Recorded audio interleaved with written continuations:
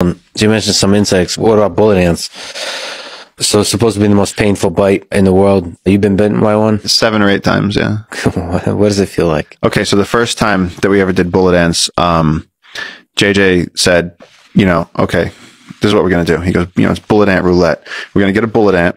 And you get like chopsticks. You like pick up this bullet ant, and they're big. They're big and they're tough. Like, it, he goes, we're gonna put our forearms together, and we're gonna drop the bullet ant and clamp our forearms together and just rub. And whoever whoever it takes, it takes. Yeah. Of course, JJ did not get stung, and I did, and it hurts every bit as much as they say it hurts. It really let me have it, and then and then I was like hitting my arm against the table to try and like kill it or get it off, but it was holding on and just like really injecting the venom.